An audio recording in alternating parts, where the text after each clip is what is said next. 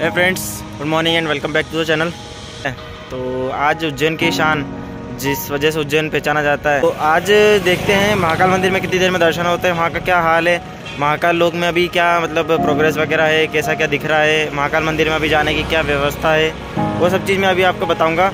और अभी महाकाल लोक में जाने का क्या मतलब रास्ता है, किस तरीके से जो भी है तो वो सब चीज़ें अभी मैं आपको एक्सप्लेन करूँ। प्लीज़ वीडियो को लाइक करें और चैनल को ज़रूर सब्सक्राइब करें। आ, मैं आपके लिए ऐसे ही अच्छे अच्छे वीडियो लाता रहूँगा।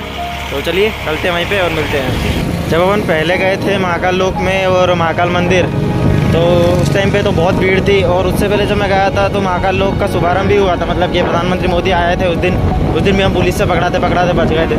तो उसके बाद आज पूरे महीने, दो दो महीने बाद आज जाने का मौका मिल रहा है। तो अभी मैंने बहुत सुना है कि बहुत भीड़ वगैरह हो रही है वहाँ पे और जाने के रास्ते नहीं थे उस दिन भी जब नया साल था तो नए साल में भी बहुत ज़्यादा भीड़ लग रही थी। आज भी मेरे को लगता है भीड़ तो होगी सही तो दो चार घंटे लग ही जाएँगे मेरे को जहाँ तक लगता है। पता नहीं, पर वहाँ जाके देखता हूँ कि क्या हो जाएगा, कितना टाइम लग जाएगा। अब देखते हैं।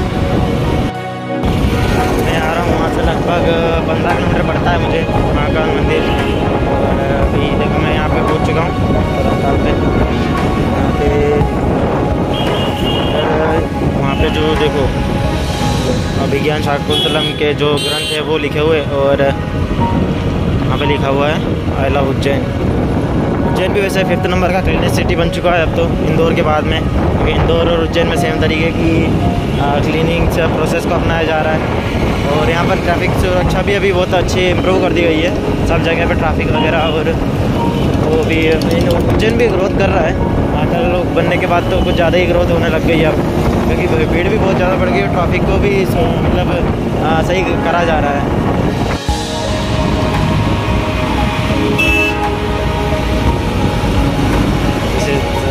टावर चौराहा।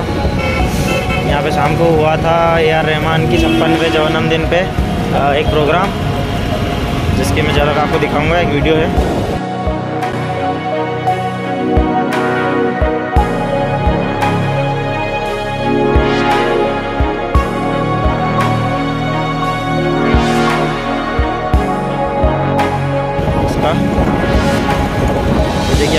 निकल ही रहे हैं यहाँ पे।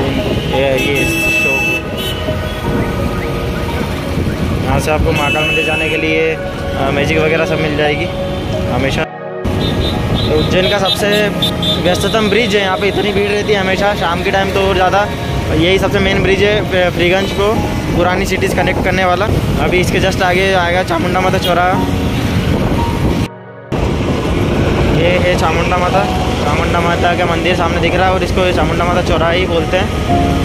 यहाँ से थोड़ी सी दूर पे देवास गेट है। देवास गेट आप कहीं से भी आएँगे तो सबसे पहले आपको देवास गेट ही आना पड़ेगा और वहीं से आप महाकाल मंदिर जाने के लिए कुछ भी वाहन वगैरह मिलेगा। ई रिक्शा है, मैजिक है और पैदल भी आप जा सकते हैं, दो रास्ते हैं। ये सामने जो दिख रहा है, ये देवास गेट है।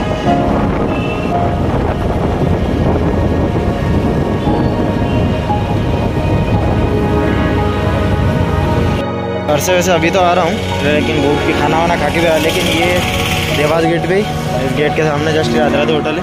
यहीं पे यहाँ पे बहुत अच्छा समोसा मिलता है तो समोसा खाते हैं, और फिर चलते हैं महाकाल मंदिर। एक समोसा और अभी समोसा खाएँगे, और आगे बढ़ेंगे। ये उज्जैन रेलवे स्टेशन है, और यहाँ से इसी मैजिक वगैरह मिलती है। यहाँ से सीधे इधर जाते हैं तो महाकाल मंदिर आ जाता है। तो चलिए इधर चलते सीधे।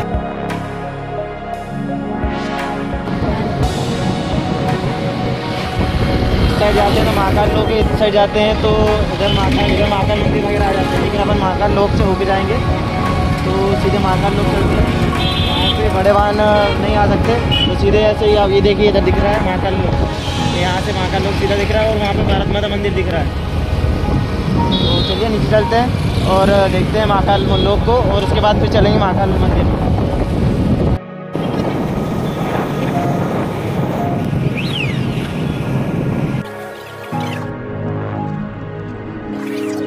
यहाँ पर लोग गंदगी भी बहुत कर रहे हैं और तोड़ फोड़ वगैरह भी बहुत कुछ हो गई है और पेड़ पौधों में भी।